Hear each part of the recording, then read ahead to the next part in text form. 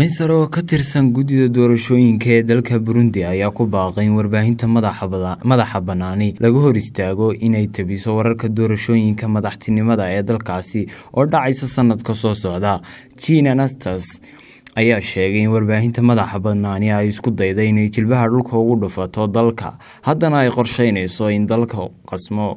Waxa uu sheegay in warbaahintu ay mas'uul ka ahayd rabshadihii ka dhacay dalka burundi doorashadii labadii kun iyo shan iyo tobankii markaasi oo madaxweynihii xilligaasi uu go'aansaday inuu mar saddexaad u tartamo xilka madaxtinimada. Dowladda burundi ayaa dhowaan dalkeeda ka mamnuucday saxafiyiin ka tirsan idaacadaha v o eda iyo b b c da axmed maxamuud maxamed ariel t v hargeysa